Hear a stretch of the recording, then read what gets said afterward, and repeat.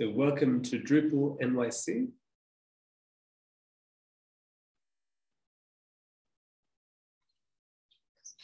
So we'll start with um, some quick announcements. Uh, we request that people have their cameras on if you, you feel comfortable with that and mute yourself when you're not speaking. Please use the Slack channel to chat because that will last after the meeting. So if you want to share some links or just comment, the Slack channel is the place to be. Um, we will tonight uh, have a very quick job fair. So if you've got a, uh, if you're looking for work or you've got a job available, um, please let us know. We'll have a talk by Aaron, and then we'll have a time where we can solve some problems, and then we can just hang out and chat. And thank you to our organizers. Um, is um, with us. And um, we've, we've also got others who work behind the, the scenes.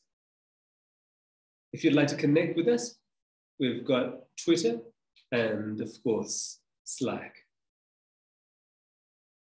And please support the Drupal Association. Um, it's a great way to give back to the community and um, for, for many years, the community, the association has been helping push Drupal forward.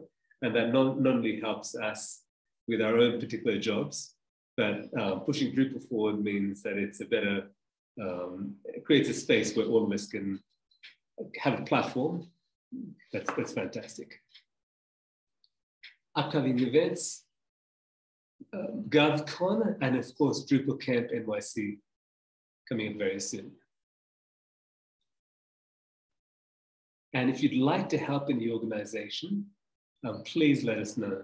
We are always looking for new people to help us out in organizing the camp.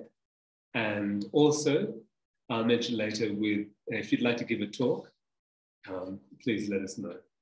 So Drupal NYC also have a lunch and learn where this is just a convenient way during work hours to be able to meet other people. We meet exactly for one hour. So if it's perfectly in your, in your lunchtime. And if you're interested in speaking, thank you for connecting with us, Aaron and Leora, uh, and Ralph as well. So um, look forward to hearing you guys speak soon. And so is anyone hiring or looking for work? Um, not a Drupal position, but if you like to work for my boss, uh, we are hiring a manager for our Windows services. So we would like to have somebody who has managerial experience and migration uh, to M365. Cool. Thank you, Holly. Great. And so it's time for our presentation by Aaron. So thank you very much, Aaron. I'll hand that over to you and you have access to be able to share your slides. And please start by telling us a little bit about yourself. Yeah, thank you. Um, all right, let's give this a try. I'm going to be doing this on my iPad, so this is going to be fun.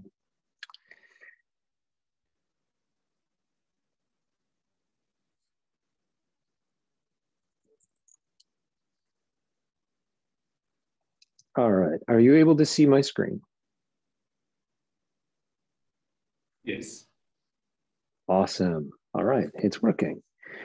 So um, my presentation today is about three ways to add functionality to a Drupal website. Um, my apologies if some of this is, is going to be a little bit basic, but hopefully there'll be uh, some more interesting stuff in there as well.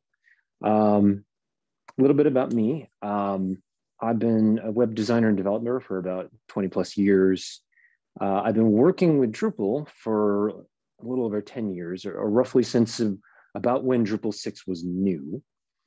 Um, I do mostly site design, site building, theming, although in the last few years, I've done a little bit of custom module development as well. Uh, for the last 10 years or so, I've been working at uh, Columbia University, uh, first down in Morningside, and now I work at the Health Sciences Library at the Columbia University Medical Center. Um, so this presentation is going to look at three ways to add functionality to a Drupal website, and I'm going to use a very specific example.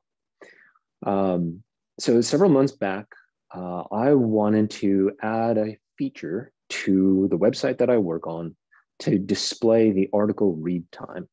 So um, I don't know if this was big enough, but I just wanted to highlight this. Um, this is what I'm talking about. You might have seen something like this on other websites before, um, but it basically is just a really simple little addition to um, give users uh, a sense of how long an article is before they actually get into reading it um, so that they know what they're getting into. Um, and I actually went through the three different ways that I'm going to talk about when I started exploring how to add this to the website. Um, and when I was done, I thought about it and said, this would make for a really interesting presentation because this is kind of like a, a textbook example of, of different ways you can do this. Uh, and so that was the, the genesis of this presentation. Uh, so the three ways that, that I'm going to talk about are finding a contributed module, um, customizing the Drupal theme, uh, and then writing a custom module. So I'll start with contributed modules. Um, when I first did a search for contributed modules for read time, I came up with these two modules. Um, and I'll look at them in a minute. Um, but I just wanted to mention some of the some of the things to consider or that I considered in choosing contributed module. Um, you know, what is the module status? Is there a is there a stable build of this module? Is it still sort of in development? Um, is the module being covered by security advisories? Uh, when was the module last updated? How many people are using the module? Um, how many open issues are there to be addressed? Uh, and related to that, how many patches are waiting to be applied to that module? Um, and so I wanted to just look at a couple examples of this. Um, this page that I brought up is for the paragraphs module. Uh, and this is a really interesting one because uh, if we look down here, obviously there are a lot of websites using this module, uh, almost 200,000 report using this module. Um, so obviously it's being very heavily used, um, but they haven't updated this in a while. The last release is from May of last year. Uh, and there are 278 pending patches. So um, obviously there's a lot of work going on in this module. There are potentially a bunch of um, a bunch of issues that people are working to resolve. Um, so it's obviously a really popular module, but one that um, still requires a bit of work. Um, by comparison, the first of the two read time modules that I looked at, um, this one's the read time module. This one reports only 205 sites using this. So either not very popular uh, module or maybe a not very popular feature or people have found easier, faster ways to implement this. Um, also of note on here is the fact that um, while there's a stable release, uh, this module hasn't been updated in more than two years. So that's a slight concern. Um, by comparison, the node read time module um, has a few more sites using it, um, a little over 700. So that's a bit better. Um, and this one's been updated recently, uh, July of this year. So uh, if I were, you know, going to make a selection today about what module, contributed module I'd want to use, I would probably pick this one because it's more recently updated uh, and more people appear to be using it. So I would assume that means that I may have some better luck with that.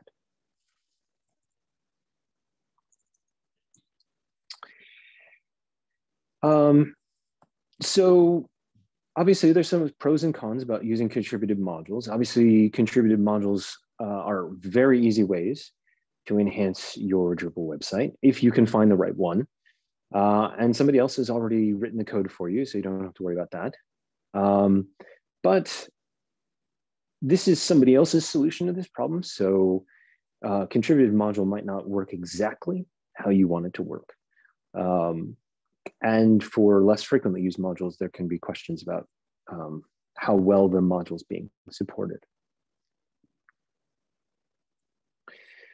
So the second path uh, is by customizing the Drupal theme. Um, and so this approach uh, entails adding read time, the, the read time value to a Drupal template. Um, and so very basically, a Drupal theme uses templates to display content. Um, the Drupal content is available to the template uh, as variables. Um, we can insert our own variables into the Drupal templates using pre-process functions. Um, and so it's possible to add read time to a template as a custom variable. Um, the calculation for read time is really simple. Uh, it's basically just the number of words, it's based on the number of words per minute that the average adult can read. Uh, that's usually somewhere between 180 to 250, depending on age, education, um, how easy or difficult the subject matter is. Um, and so just for the sake of what I'm doing here, uh, I'm assuming uh, 200 words per minute. And so read time can be calculated by uh, taking the number of words in the body field of our article and dividing it by 200. Very simple calculation. And so the theme customization that I'm looking at here is to take uh, the preprocess node function. Um, and the function will be very simple. It'll load the node that's being viewed, um, get the text of the body field of that node. We're assuming that there's, you know, this node isn't using paragraphs or different um, custom fields that have other content in them. This is just a very simple example. Um, we'll use the PHP function uh, string word count uh, to find out how many words are in that field, uh, do the read time calculation, uh, and then add read time as a variable to the node template. Uh, and so this function would go into the dot theme file for the theme. Uh, and I'm gonna, I'm going to zoom in on this a little bit. Uh, so the first two lines here, this is just the quick way of um, getting the current node um, by uh, getting the getting the node from the variables that are available to this function, grabbing the ID, and then using that to load the node. Um, and then the next line here, we're just grabbing the body field from that node. Um, getting the read time. So we're taking the, the body field, stripping out the HTML tags, doing the word count, uh, dividing that by 200 and then rounding up. And that's the read time. Uh, and then adding our custom variable read time uh, and assigning it the value we calculated.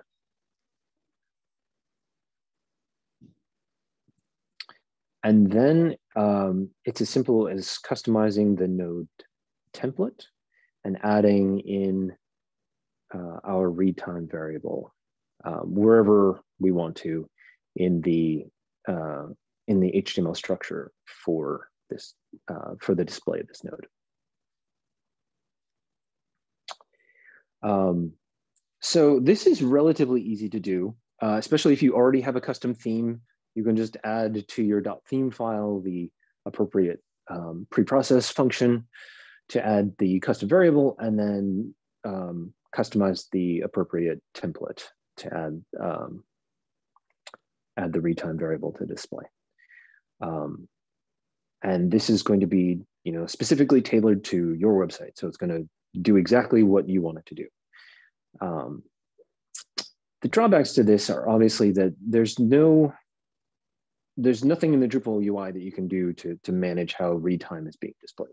So if you want even minor changes to how this is going to work on your website, you actually have to go and do code updates, which may or may not be easy depending on sort of your build processes and your um, uh, your deployment schemes.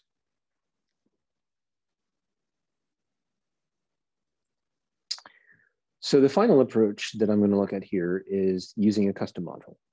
Um, and uh, the final for me, there are obviously other ways that you can implement this solution. Um, I also considered using a calculated field um, for the nodes that I was uh, looking to add this to. Um, so there are certainly other ways to do this, but this is the, the last one that I'm gonna look at.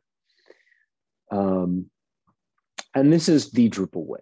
So making, uh, building a custom module is obviously the official way to add custom functionality to Drupal. You're using the APIs uh, from Drupal. Uh, obviously, you need to know PHP and slightly more difficult than that, be able to understand the Drupal documentation.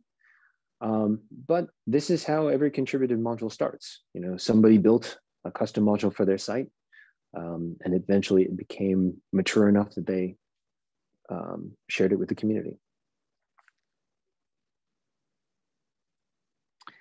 Um, so the way that I uh, approached this was I learned about something called pseudo fields. Um, so pseudo fields are a special type of field uh, that you can add to any content entity type.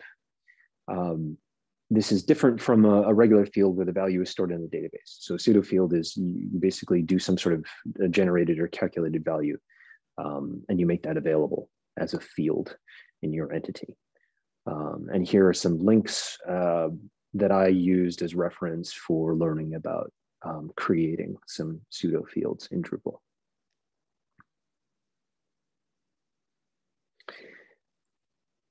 At its core, a custom module to do this has three functions. Um, obviously, it can get more complicated and fancy, but to get the essential functionality that I'm looking for here, there's just three functions that are necessary. Um, the first function is hook entity extra field info. So this is the, the function that will be used in the custom module to define the pseudo field that's being added. So the name, the, the machine name, the, the, the, um, the name that appears in the Drupal UI uh, and a description um, of that pseudo field. The second function is hook node view. So this is the function that will actually add the pseudo field to the uh, to a node. So essentially, um, this uh, one of these hook um, hook entity view functions will alter the the build array uh, of the entity that you're trying to modify before it gets rendered, and so that's when the the pseudo field gets added. Uh, and then the last function is hook theme, and this is for registering the, the template that is being used to theme the pseudo field itself. Um, and then the result of building out this custom module is that you actually get um, a read time field in your configuration of uh, in the configuration of your content type. And it's there just like any of the other uh, regular Drupal fields. And so you can move it around, you can enable it or disable it. Um, you know, obviously the, the benefit here is it, you treat it like any of the other um, fields in your content type and you can manage its display.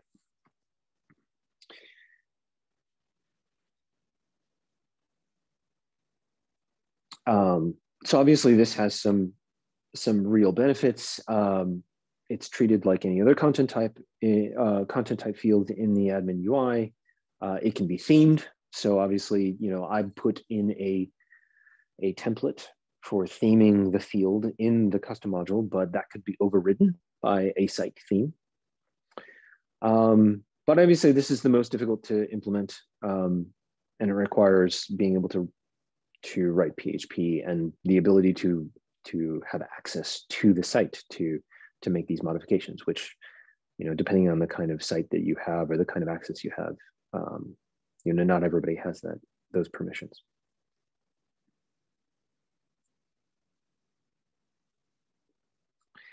Um, so obviously, like I said, uh, I I was looking at a very bare bones implementation of a custom module for for read time. So there are lots of things that that could be added to a custom module for read time. Um, there could be a configuration form to customize the read time calculation. So perhaps you want to um, tweak the the value for um, number of words per minute that you're assuming a person can read. Um, it would be nice to have some sort of configuration um, form where you could set that value instead of having to set it in code. Um, another nice configuration option would be to select the content types on which you want to add the read time field. Um, in my example, I'm just adding it to everything. Um, but you obviously you might want to say, all right, I only want it on certain content types. Um, another configuration option that would be helpful is um, identifying which fields to use in the calculation of read time. So maybe you have a custom content type that doesn't have a body field. Maybe it has some other field where the content of that node is stored and you want to identify that field instead um, for the calculation. Or perhaps you're using paragraphs, or perhaps you have multiple fields which need to be, uh, from which the word count needs to be uh, collectively calculated. Um, and then obviously, you know, once the custom module is built up, um, it could be um, written in a way that's a bit more generic and distributed as a contributed module.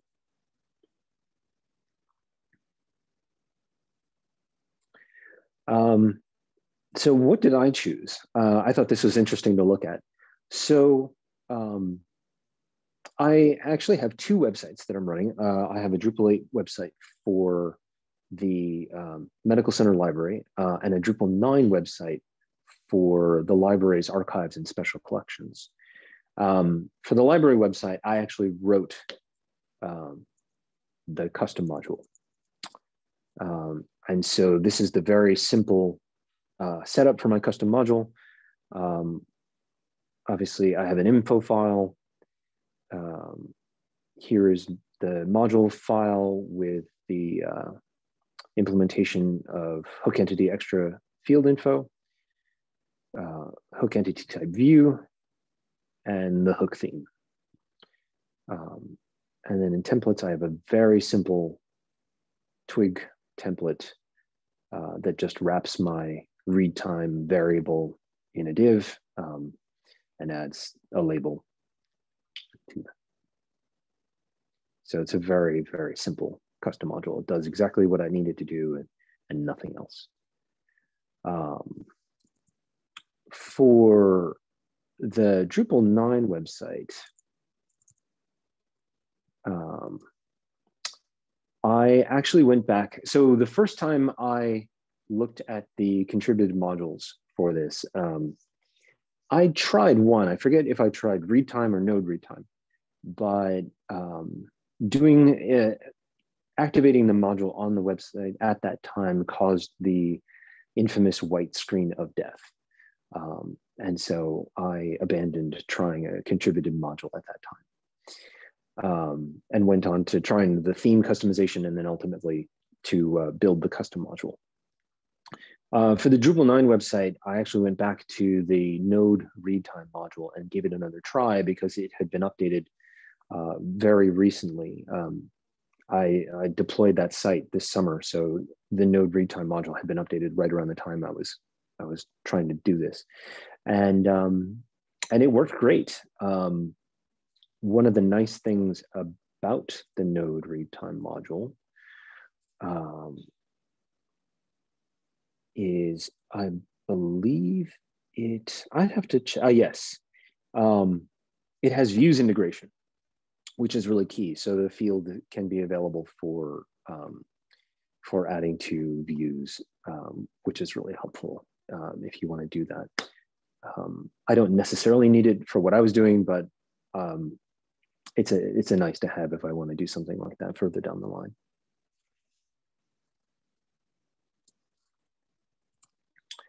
Uh, so that's all I have for today. And um, this is the first time I am giving this presentation. So it'd be really cool if uh, anybody has any comments or any questions, uh, ways I might uh, improve or expand upon this topic. That would be great. Is the code um, online somewhere so we can refer to it at some point? Um, it isn't right now. No, um, it's just uh, part of the part of the uh, the Git project for the for the library's website. Right. No, I just want because yeah, some of the um, the hooks were aren't ones that I've used yet. So. Um. So the I can share the links, or if it's useful, uh, David, I don't know if it's possible. I can. I have links in my slides for those hooks. Um, so yeah. I could share the. It was such a simple link. module, which I liked. That was like you could you did something like with not a lot of code. So Drupal modules can get a little too complicated sometimes, but this was good. Yeah, it definitely can happen. Yes. right. Yeah, yeah, I, I can share the links for those for the documentation for those particular hooks. Yeah, I actually appreciate seeing examples of simple modules because a complicated module has just so many things wired together that it's hard to understand the, the, the actual, understand the code. So out of curiosity, the way you've implemented it, if you look at a view and you've got the fields on the on in the node, you can't see the, the field that you've added. Uh, I'm sorry, I didn't quite understand what, what you mean. If I'm looking at a view. Uh, I was just thinking, the you mentioned that the contributor module has got views integration. And I just yes. assume that if you add a field, and it must be a field on the node, it must be available to the views module. Um, no, um, and I think the reason for that is how the pseudo field being inserted. So um, it's being uh, when it's being let me go back to actually do you mind if i share the screen again? That might oh, help. oh, please go for it. Uh, okay. Actually i just realized something. If you're not saving the value in the database maybe that's why views cannot handle it. That may be one thing. Um, the other is where it's being uh, assigned. So what I'm doing here in this function is specifically defining that pseudo field for teasers. Um, and um, the other thing is um, I'm using uh, I'm using hook entity type view to insert this pseudo field into the render array for the node. So the the the field, the value is only being inserted when rendering the teaser for the node. Okay. Um, so yeah, you're not gonna I, you're not gonna get any views integration out of this. I I'm, I'm I, it'd actually be very instructive to look at the uh, if I looked at the code for the node read ton module and figured out what they were doing for that. But the only way that you could get that is if you were building a view that um, that used uh, rendered content instead of fields, and then you just rendered the uh, uh, rendered the teaser for that for those nodes, and then you'd still be able to see it. Cool. Thanks, That was helpful.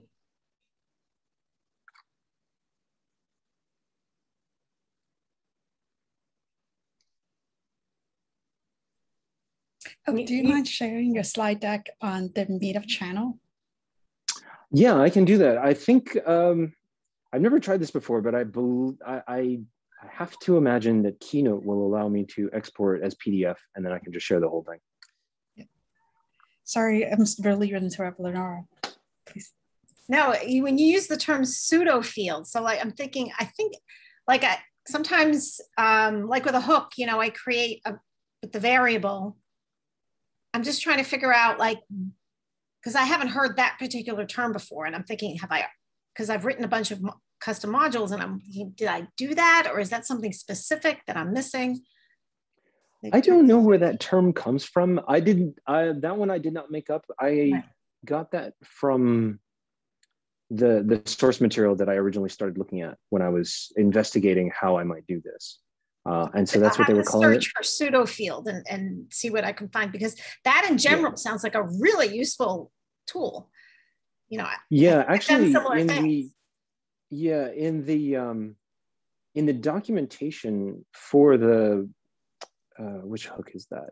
Um, in the documentation for hook entity extra field info, um, it specifically mentions pseudo fields. So um, that term is in the Drupal documentation.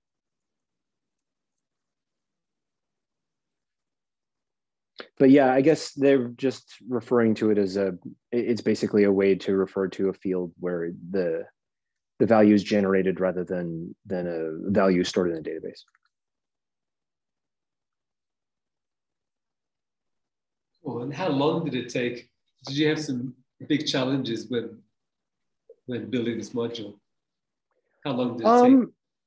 No, it actually didn't take me very long. Um, this the I I mostly followed the the the sources that I have the that I you know had the links for them in the in the one slide. Um, they were that that was like really good starting points for for putting this together. So it was actually pretty easy. Um, I, I think the biggest hurdle was the conceptual one. I, I had also never heard of pseudo fields before, um, and so hadn't even realized that such a thing was an option. Um, and so I was lucky enough to to stumble across um, this concept in you know searching for possible solutions, um, and it turned out to be relatively easy to implement. Uh, I mean, obviously by the code, it's it's not that much code.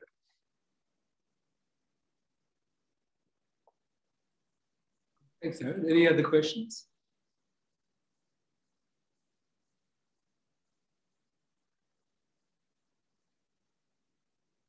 Cool.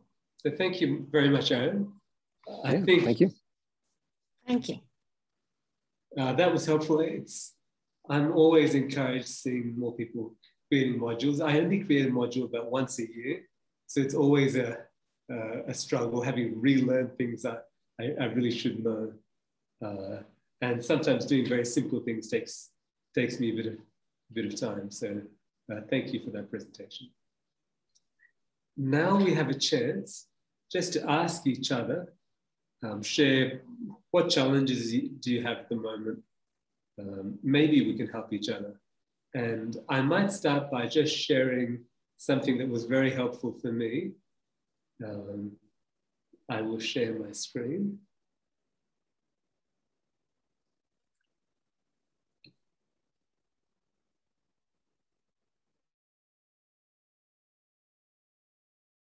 So I had um, this page where I'm drilling down to find categories. So um, this page in Spanish. So this page works by, I have a category, I click on a category, and then I have a list of subcategories, and I click on a subcategory, and then I have a list of um, documents under that subcategory. And I didn't know how to do that in Drupal. So I had embedded a React app in this Drupal application to do this. And uh, I think it was three months ago that I asked, asked, how do I do this in Drupal? And someone explained to me contextual filters and something uh, uh, that was actually very easy to, to implement. And this feature now, it's, it's made the, the website much simpler to maintain, especially as I hand it over to, to others. And surprisingly, it's actually faster than it was in React. And you could, if you're interested in how that's possible, you, I can tell you after. But that's just one example where I asked a question in, uh, in this forum, and there were others who were able to, to help out. So, what challenges do you do you have? Maybe we can, maybe we have some ideas, maybe we don't. But um, So maybe I'll ask Hussein, what are some of the challenges you have at the moment?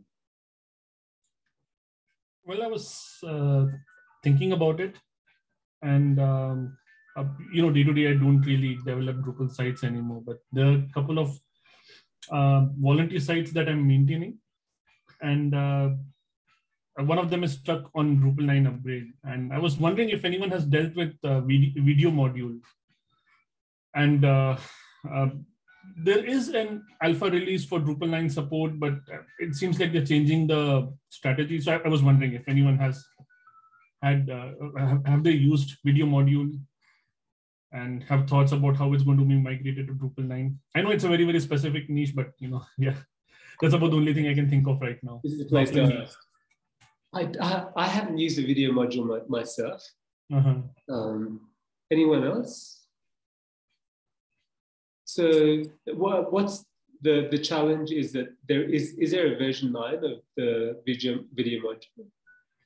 Yeah, technically there is. There is an alpha release, but then there is this thing that uh, in the roadmap they have written that so you know video module is a, quite an old module. You know, uh, Drupal six seven times, and uh, you know before media became mainstream. So I had built a Drupal six site on that and migrated to Drupal seven eight. You know, with video video module, and it it, it works well. Uh, now I think the Drupal 9 plan is that they would fall back on media module to actually host the video and it will take care of uh, transcoding and everything. So like video module, apart from giving a field type for video, it also sub does things like uh, transcoding video on the server, generating thumbnails and that sort of thing. Okay. Yeah. So I think in Drupal 9, the plan is that they would move it to media and then they would just take care of transcoding and thumbnail generation. Things which I really don't need, you know, it's like, I mean, I can move to media so i'm thinking okay you know migration I, I, could write the migration but again like this is a volunteer thing you know it's not really i don't really get time from my day job to really think about this so it's been stuck and uh, like drupal 9 is what next month sorry drupal 8 end of uh, support is next month right uh, so i was wondering if there is something somebody knows of like a quick fix to this you know like quick migration to video or sorry media or like you know have you used the alpha module to see it's i mean like it's a good middle ground for now? I, I was just wondering. Yeah i'm sorry i can't help with that. But i know it's a challenge with content if you've got a, a different way of uh, if you use a module for content and trying to move that into media that that, that is difficult yeah i mean migration is not a problem it's just like a question of time really you know, at the time which i don't have at the moment and I am sorry, you know, I'm not switching on the video. It's it's kind of a little bit of a mess over here. And no. My, my baby is, you know, kind of creating more mess as we speak.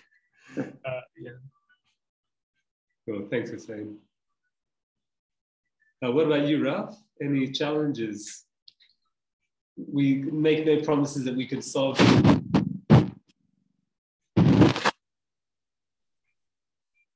Uh, just one quick comment uh, to Hussein.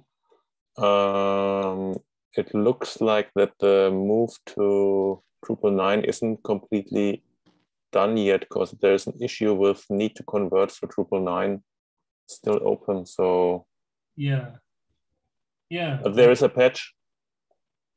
Yeah, I, I, see that. I remember seeing that, and um, again, I was I didn't really want to take that on. I thought you know I could just uh, move over to media.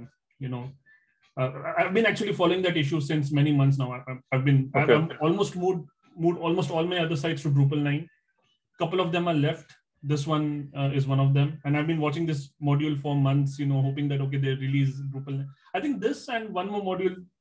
They are the only reasons I'm still holding out uh, and, and, video is an important like content. You know if it was some other functionality maybe i could turn it off for a bit. But uh, like uh, david also said you know it's um, uh, content i can't really there's no real way you know i mean unless i delete all the videos.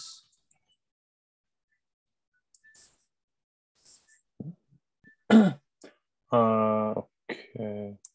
Uh, and the I don't have really a thing I'm struggling at the moment with, but just one other comment I've asked in the group here a few months ago in one meetup.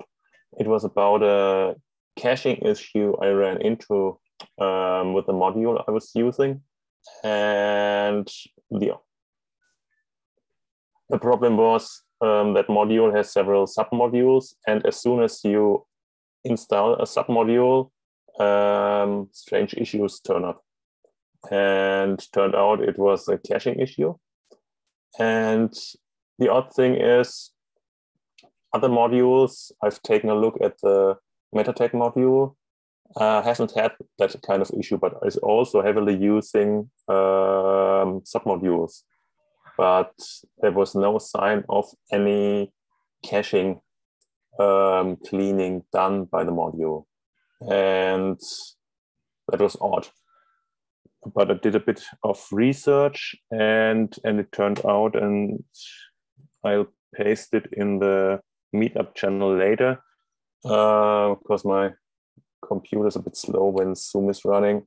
Um, that there is an I pasted for the moment in the Zoom chat and I pasted later in the Slack also. That way it's easier to tackle. Um, it's basically the naming of uh, the plugin manager. You have to prefix it with plugin manager. It's in, in a change record and that it's only noted as a best practice practice, but there is no indication what that implies. And as soon as you're using that prefix, Drupal is taking care of caching under the hood.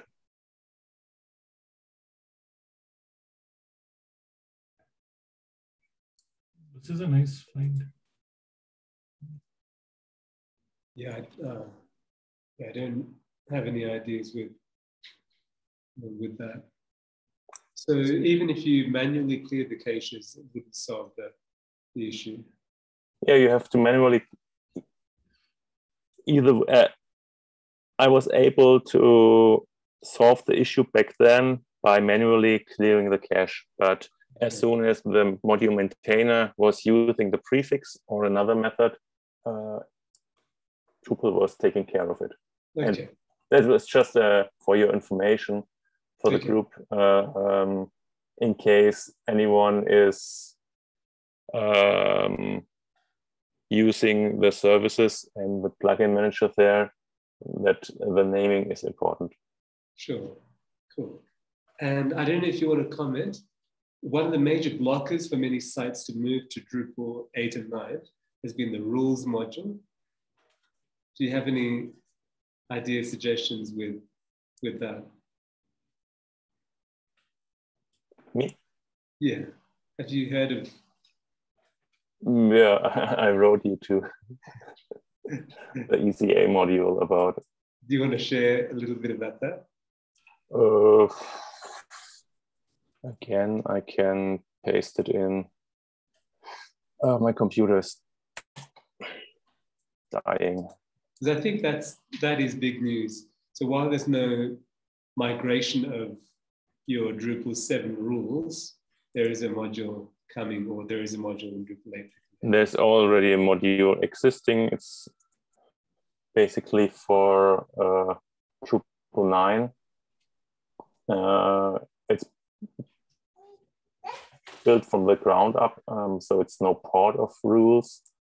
And it's utilizing all existing functionality in Drupal 9 and Symfony. And basically the logic and business logic is defined with uh, external tools like BPMN, IO, or Camunda. And yeah, I've attended uh, the inaugural presentation in the German speaking DACH region meetup uh, with a uh, with a demo time also, and it was quite advanced for an early alpha. Sure. Already working and worth a look, I would say. Great. Thank you, Ralph. So holding Aaron or Lyra, do you have a, a challenge that you'd like to share with the group? My only challenge is trying to finish the talk for next week or two weeks from now. But that I'll, I'll figure that one out. Speaking of the talk, I feel like I'm doing homework while I'm in class right now. I'm setting all the events to push it out and promote to make sure that the, the ball keeps rolling for lunch and learn. so what's the hardest part of your talk, Lyra? Is it, uh, are you, this is the graphics? No, no, no, no, no, no. Graphics, I'm an artist. That's, that's easy. no, I, I actually wanted the, I wanted to finish my own sites and I, I all of September was like one long Jewish holiday. So I just haven't had time, but I got um, a site that I was working on for my friend to go live. So I have plenty of material for the talk. It's just kind of frustrating that I, there are other things that I want to work on. That's always life, right? You know, yeah. can't do everything. So, um, yeah, just uh, all good things. We should have good things happening and not, uh, not problems. So. It's clear. What about you, Aaron? Uh, any challenges you're facing at the moment? Um, the only real puzzle that I am dealing with at the moment, obviously, I've got some of the same sort of issues. I uh, I have to thank you uh, for that uh, that link about the the ECA module. Um, I actually ran into this problem a few months ago, I was trying to use rules for uh, for something really simple. Uh, I wanted um, I wanted email notification when um, when uh, when new nodes were created, and um, I could not get rules to actually I could get rules to work. The problem was uh, rules, like so many other modules, really messes up the uh, block configuration screens I don't know if anybody's ever run into that problem. Um, but every time you add uh, contributed modules, um, they start, if, if you then go into block configuration, there's all sorts of new tabs that get added, even when you don't need them to be added. It's a very strange problem. And rules is the worst offender I've seen so far because all of a sudden there's like 20 new tabs in block configuration that haven't that are that don't need to be there. There's it's spillover from the way rules are written, um, and it's it's a known issue. It's just uh, not solved. So it's it's one of these where they're they're still arguing about where it needs to be solved. Um, so this this other module, this ECA, might be a really interesting one to look at. Um, but no, um, the the one the the one problem I'm having uh, is sort of a self-inflicted uh, wound of sorts. Um, and uh, what was it? Uh, a few months back, um, they provided new laptops for all the staff. I uh, decided I would get uh, a new Mac.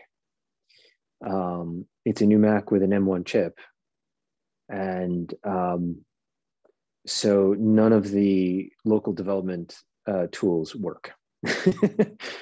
um, heard that about the I have for some reason. Yeah. Yeah, I, I've managed to get Docker to work.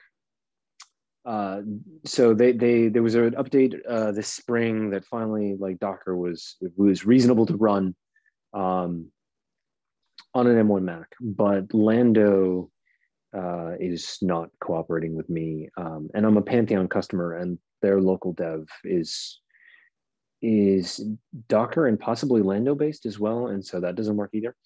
So um, my ongoing struggle is trying to figure out a proper development environment uh, on my M1 Mac because right now I uh, right now I'm having a, a, lot of fun. I I use built-in Apache. I use the built-in PHP, which is going to be gone as soon as you update to the the next version of Mac OS. Uh, and I use Docker to run MariaDB uh, database server for my local instances, and that's how I'm that's how I'm running my local development environments. But that's not um, that's not something I'd want to have somebody else reproduce. Sure. So, I see Ralph has got his hand up. Have you got an answer? Yeah. Uh, two comments about your first, the first thing you've mentioned about your uh, email notification on Node Create. Um, mm-hmm. There's also a module, also from the same um, developer who created ECA. He created Dun, Danse, it's called. It's a notification uh, framework for Drupal. Um, in it's in combination with the push framework, also by him. Um, so basically, Danse creates a notification entity if something happens, and then you can also define define which in which event a push notification is sent. And that push for the notification could be for example an email or to a slack group or whatever. Oh, it's really quite neat. flexible. Yeah. Oh that, that's great. Thank you for that link. I will definitely take a look at that. And about your local development environment um, you might take uh, a try with uh, DDEV. That is definitely working on M1. Randy, oh, the main great. developer um, of DDEV, is developing on M- M1 Mac and Mac Air. So it's definitely working. The only uh, image or container which isn't available is MySQL because they haven't an ARM image. But that's since you're using MariaDB, it isn't an issue at all. So it's worth a try. And since you're using Mac, uh, DDEV has since version 1.8, which was released about one week ago, I guess, um, mutagen integration, which speeds up um, the development, uh, the, the, performance on a Mac trem tremendously. Okay, you have to take in consideration it takes more disk space, but that's the only downside. Huh. Oh, thank you. I will take a look at that. Yeah, I know I had thought about DDEV originally when I was looking for a solution, but I know that they had been waiting for Docker uh, to be updated as well. So I guess now that Docker is working, they must have a working version. So that's great to hear. Yeah, I had to next month was I'm planning to get a, an M1 Mac. So I've been following what apps are uh, available. Um, and I, I believe Lando now is, is, is natively supported on, on M1, is that right? Or there's still issues with Lando? It's supposed to be. Um, I've just had a lot of problems getting it to run. Um, and I, I I wish I knew enough about Docker to not have to use Lando, but I don't. So, you know, um, Lando has some nice uh, potential integrations with with uh, with Pantheon, in addition to having you know just the, the the basic Drupal recipes that you can use, which is always nice. One of the things I like about Lando is I can always go into their channel and, and they give responses. They're, they're very helpful you can see me in the RW. I'm always asking questions. How come this doesn't work? So, and, and, it wasn't. It turns out it wasn't their fault. Our, our site was way behind, and, and the the senior developer that I work with actually had to do tons of things to get it to work. But they were very helpful with that. But I used DDEV like two years ago. I think it it was pretty good. DDEV is really really good, and well, Randy is one of a kind in regards of support. He is online all the time and responding in usually whew, no time. cool. So thank you guys. Um, let me put on the upcoming events and we can still chat some more uh, after that. Um, so anyone who has time can continue, but let me just show us the, the upcoming event. So we've had a, a, a time of problem solving. Let's also have a look. We've got our lunch and learn on October the 19th. And so that's um, at 12 noon and we go for exactly an hour. So um, our evening meetings a bit more relaxed and we can take more time if we'd, we'd like to. And of course, we um, are always keen for new speakers.